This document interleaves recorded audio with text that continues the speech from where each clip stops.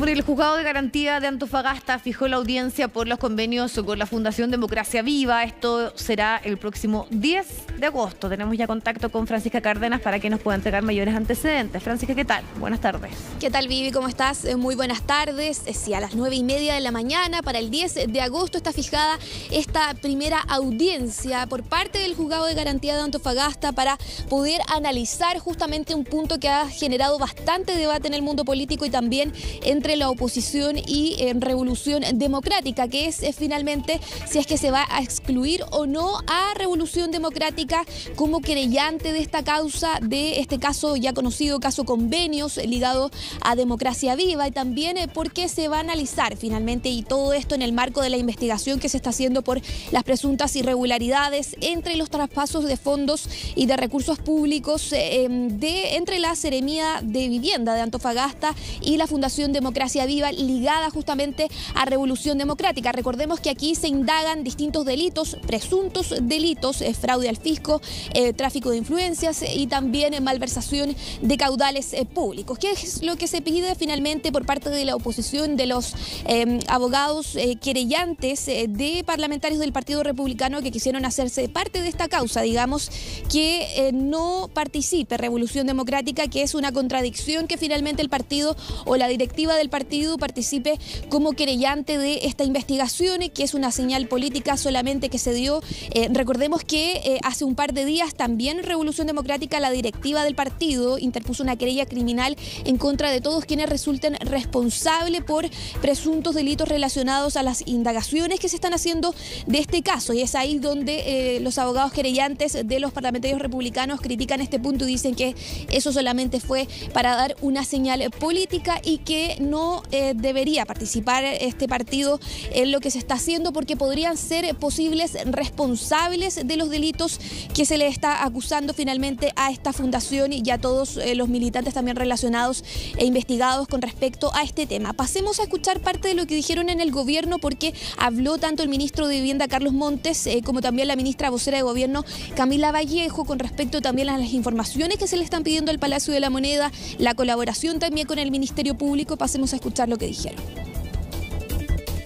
La institución, la Fiscalía, el Ministerio Público opera de acuerdo a sus normas y por lo tanto tiene etapas para hacerlo y ah, puede, puede citar a cualquier persona, sobre todo vinculada, a declarar y creo que nosotros estamos plenamente disponibles para colaborar con lo que requiera el señor fiscal. Yo ya estuve con él, conversé con él cuando le fui a dejar toda la información de que disponíamos desde el gobierno, se acordó entregar toda la información cuanto antes y bueno, y es, es posible que en algún momento él quiera profundizar en algunos elementos. Y con respecto a esta audiencia citada para el 10 de agosto, donde se va a discutir la exclusión de RD como querellante, ¿qué le parece a usted? No estoy informado, no estoy en condiciones de opinar. Respecto a los temas particulares de los partidos políticos, creo que no nos corresponde eh, referirnos. Lo que sí eh, es que somos especialmente colaboradores con la justicia eh, y todo lo que requiera la justicia sobre información, sobre declaraciones, como testigo, en calidad que sea, vamos a estar colaborando porque es un poder autónomo del Estado y que tiene que avanzar en el desarrollo de eh, los procedimientos que tenga que desarrollar para llegar a establecer responsabilidades frente a los posibles delitos que aquí se han eh, configurado. Bueno, un caso entonces eh, que se ha extendido por distintas regiones. De hecho, pudimos ver que hace solo unos días el fiscal nacional se refirió a esto también. Em, repitió una frase que se ha repetido bastante con respecto a lo que han sido las nuevas aristas también de este caso convenios, eh, que es eh, caiga quien caiga, que se va a investigar a los presuntos responsables de lo que ha ido sucediendo. Y también hay que decir que se han hecho distintos procedimientos a nivel nacional con respecto a este caso.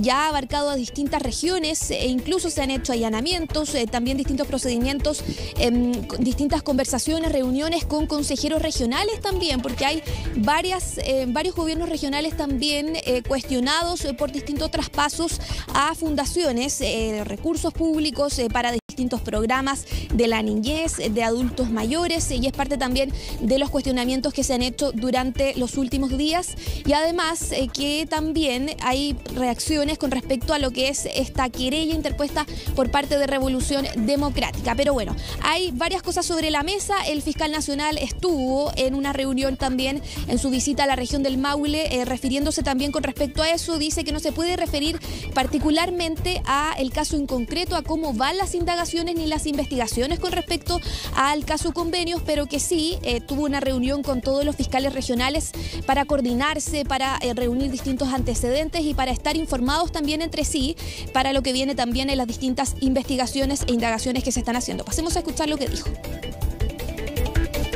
No puedo, la verdad. Eh, está vedado la posibilidad legalmente de entregarte esta información en detalle acerca del progreso de investigaciones, como ustedes muy bien saben, las investigaciones, las medidas que se mantienen reservadas, nosotros avanzan de mejor modo. Tengo, pero, pero el día viernes recién pasado tuvimos una reunión en la Fiscalía Nacional, en la que participaron todos los fiscales regionales eh, de aquellas regiones en las cuales se recibieron eh, denuncias por, relacionadas con el caso que usted describe, el caso Fundaciones, y esa reunión tuvo por objeto eh, asegurar velar por la unidad de acción.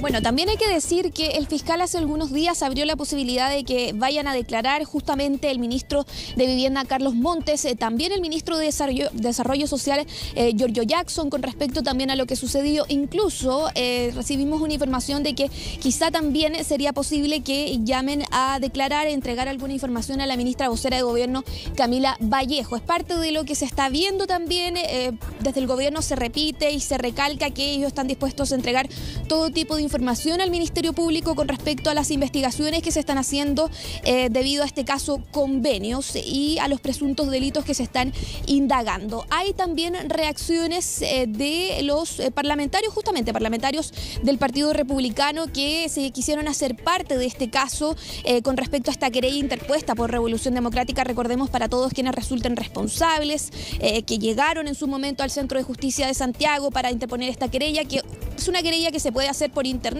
pero que ellos prefirieron también ir en conjunto con la directiva del partido para eh, finalmente hacerse parte de lo que está sucediendo con Revolución Democrática y los militantes que han estado y que están relacionados y siendo investigados por este caso. Pasemos a escuchar parte de lo que dijo el diputado Cristian Araya con respecto también a lo que está haciendo su abogado, el abogado querellante que se hizo parte de esta causa y estas críticas a que RD participe como querellante del caso.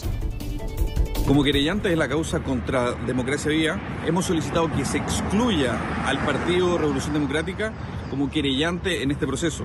Es evidente que no pueden pretender ser juez y parte. Acá lo que están intentando es hacer un blanqueamiento y no se los vamos a aceptar.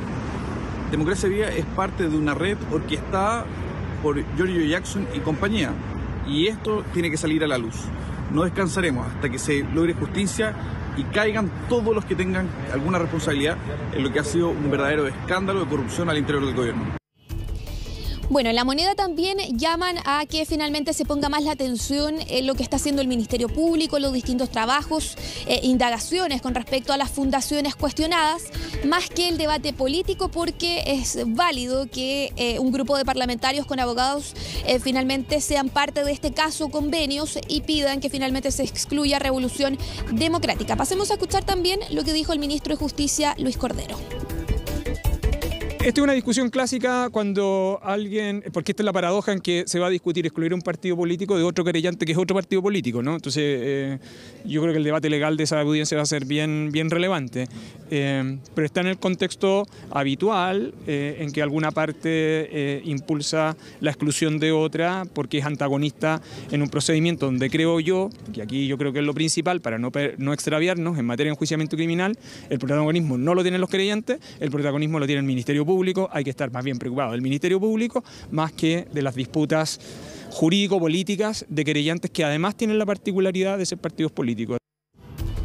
Bueno, hay quienes dicen en la oposición también que existe una contradicción vital en que RD sea querellante de esta causa, que eso lo debe finalmente resolver justamente el próximo 10 de agosto el Tribunal tribunal y es parte también de la citación que se hizo a los distintos actores y también finalmente a los al partido relacionado a este caso, RD en este caso, em, para que se pueda analizar si es que van a poder ser parte o no de este caso convenios. Así que vamos a estar muy atentos a eso, a lo que sigue también siempre, casi todos los días, hay nuevas aristas con respecto a este caso, a democracia viva y también a distintos cuestionamientos que se están haciendo al traspaso de recursos públicos a distintas instituciones eh, privadas eh, sin fines de lucro. Así que vamos a estar muy atentos a eso, Vivi, también que responden de eh, Revolución Democrática, si es que les parece a los abogados también querellantes en la causa, em, si es que les parece que los intenten finalmente tratar de excluir de lo que va a ser este debate y las indagaciones que se están haciendo.